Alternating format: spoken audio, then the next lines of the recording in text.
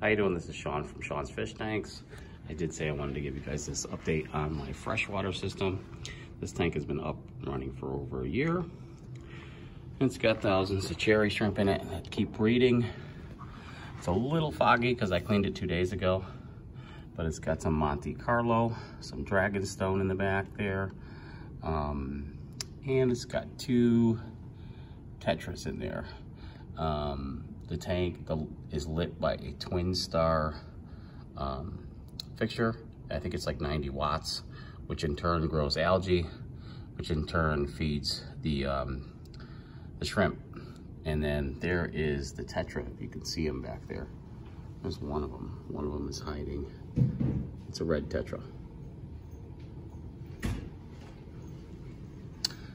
And then I also have some, um, kept, I'm drawing a blank on these other plants' names. I'm sure you guys know what they are. But it's been up and running for a long time. The shrimp keep breeding and the tank is very easy and beautiful. Thanks guys.